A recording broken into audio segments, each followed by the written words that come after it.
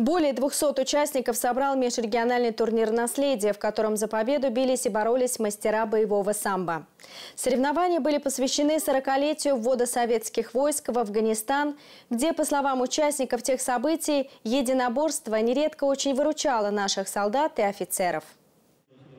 Самбо заслуженно считается настоящим достижением отечественных специалистов по боевым искусствам. Разработанное на основе дзюдо, а также целого ряда единоборств народов бывшего Советского Союза и вобрав самое лучшее, оно позволяет бойцу чувствовать себя уверенно в схватке с любым противником.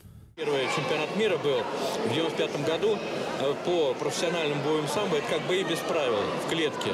И там побеждали практически все вот наши боевые самбисты. То есть они имеют преимущество над всеми видами боевых искусств. Почему?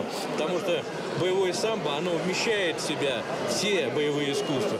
Неудивительно, что самбо сразу же попало в поле зрения наших военных. В Афганистане оно не раз выручало, отмечают ветераны тех событий, которые и организовали Кубок наследия, прошедший в минувшую субботу в Твери. Соревнования были посвящены 40-летней годовщине ввода советских войск в эту центральноазиатскую страну. Очень здорово, что э, боевое братство, оно существует афганское, оно живет. Вечной славой тем героям, которые сложили свои головы.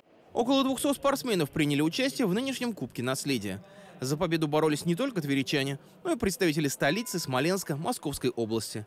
Все они отмечали не только высокий уровень, но и доброжелательную атмосферу соревнований. Достаточно сильные команды, очень хороший опыт, нам очень нравится. Приятно, приятно. В дружеской все обстановке просто прекрасно. Потому что нам даже вот экипировку, которой не хватает, нам даются соперники вообще без проблем. Среди почетных гостей Кубка наследия был и лидер Российского союза ветеранов Афганистана Франц Клинцевич. Сенатор убежден, что этот турнир должен получить постоянную прописку в спортивном календаре, причем не только в Верхней Волжье. Мы, наверное, сделаем это мероприятие в Твери традиционным, будет общероссийским.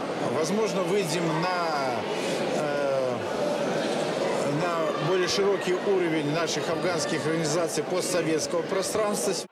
Самбо закаляет характер, способствует не только физическому, но и духовному совершенствованию, считает губернатор Тверской области Игорь Руденя. Поэтому региональные власти и дальше будут прилагать максимальные усилия по развитию и популяризации этого выдающегося отечественного боевого искусства.